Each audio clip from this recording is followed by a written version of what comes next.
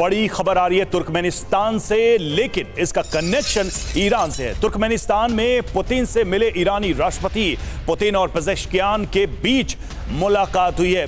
दोनों के बीच middle east के हालात पर चर्चा की गई हुई है और पिछले हफ़्ते रूसी प्रधानमंत्री पजेशकियान से मिले थे।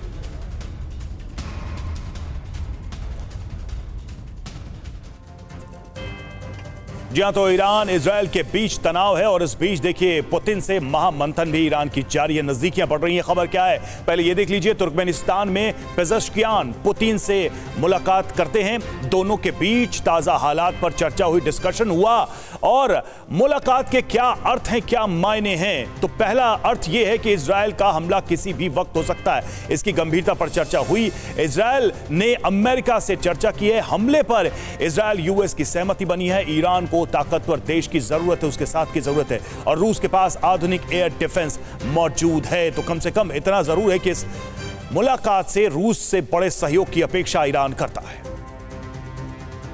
और अगली खबर इसराइल से आ रही है। इसराइल में ईरान पर हमले का प्लान तैयार हो चुका है। 24 घंटे में तेल अवीव से तेहरान तक मीटिंग हुई है। किसी भी वक्त ईरान पर हमले के संकेत मिल रहे हैं।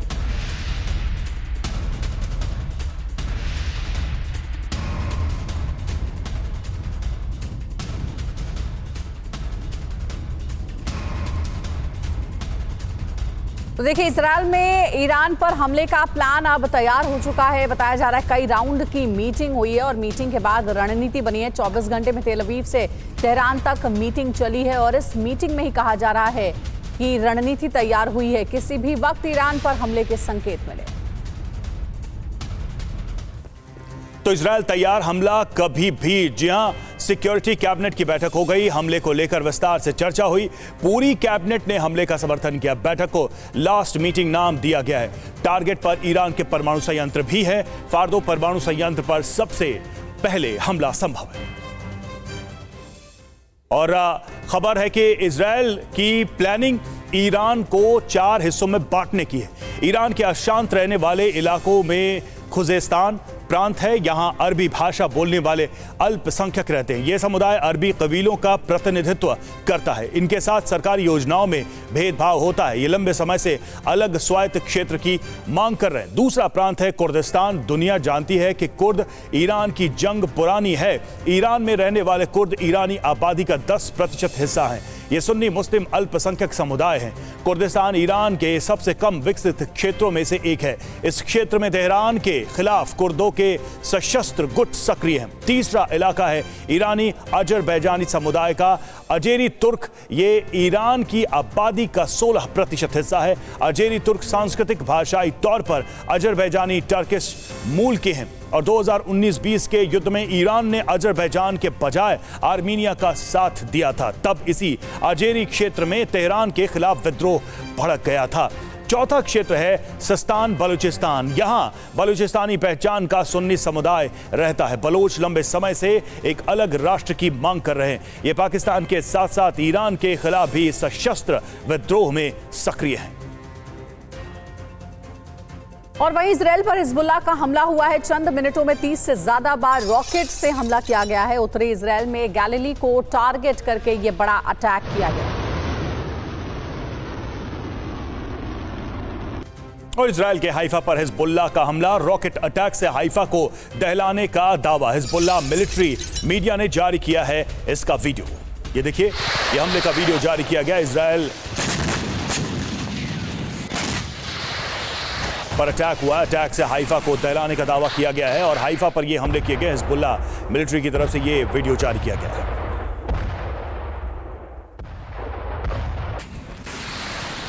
इसराइल के ताबिए में सीटीयू की छापेमारी आतंकी हमले की प्लानिंग करते पाँच पकड़े गए हैं। काउंटर टेररिज्म यूनिट ने सभी को पकड़ा है। Again. तो आतंकी हमले की प्लानिंग में इसराइल के ताबिए में सीटीयू ने पकड़ा है। पाँच लोगों को पकड़ा गया है.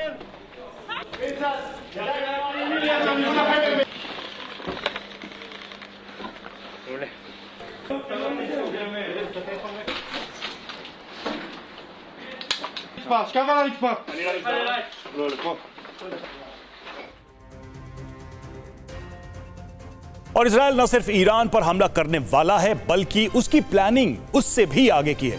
आइए समझते हैं कि यह प्लान क्या है। बिग वॉल के माध्यम से यह पूरी योजना समझने की कोशिश करते हैं। इसराइल का बड़ा प्लान चार देश में बफर जोन ये देखिए, गाजा, लेबनान, सीरिया, ये वो चार देश हैं जहाँ पर यह बफर जोन क्रिएट होना है। और इसमें देखिए कि मिस्र के, में कूटनीति के ज़रिए बफर जोन बनाने की कोशिश होगी। एक तो ये बफर जोन में सेना एयर डिफेंस की तैनाती होगी ताकि उसमें एक स्पेस क्रिएट किया किया जा सके अपनी सुरक्षा के लिए, अपनी सीमाओं की सुरक्षा के लिए। और ये चारों देश है जिनकी सीमाओं से लगे इलाकों में ये बफर जोन बनाने की पूरी योजना है इसराइल और अगली खबर, बेरूत से है ईरानी कुछ फोर्स के जनरल बेरूत पहुँचे, कहानी की जगह फलह जादेह को ज़िम्मेदारी मिली है हिजबुल मिलिट्री कमांड को दोबारा खड़ा करेंगे। फलह जाहिद इस्माइल कानी ईरान में हाउस अरेस्ट किए गए इस्माइल कानी पर मोसाद का एजेंट होने का शक है।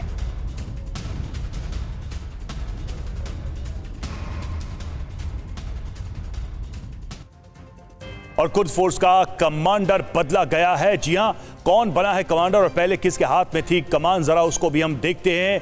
वो चेहरे, वो नाम। पहले की बात करें तो इस्माइल कानी पहले कमांडर, लेकिन अब देखा जाए तो मोहम्मद रोजा फलाजे को दी गई है ज़िम्मेदारी।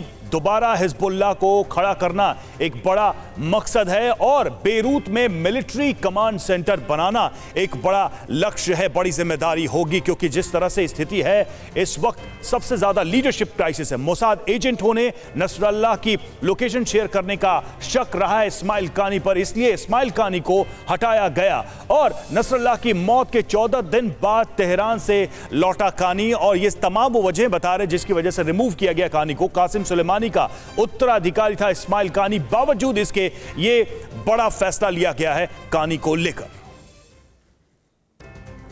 और वही हिजबुल्ला ने बनाया है नया वॉर रूम इसराइल से लड़ने के लिए बना है वॉर रूम दक्षिण लेबनान में बना है नया वॉर रूम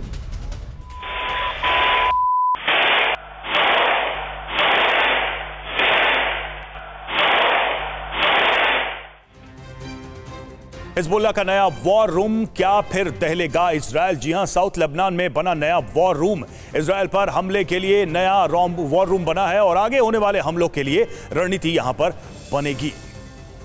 और बताया जा रहा है कि नए वॉर रूम से रॉकेट अटैक की भी मॉनिटरिंग होगी। क्यों बनाया गया है ये नया वॉर रूम ये जानिए।